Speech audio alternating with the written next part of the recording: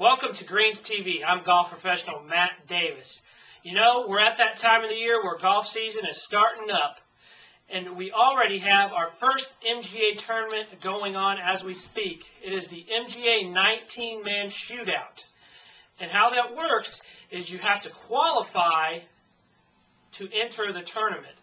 For, for more information, just stop in the golf shop or call the golf shop and we'll get you hooked up with the MGA 19-man shootout.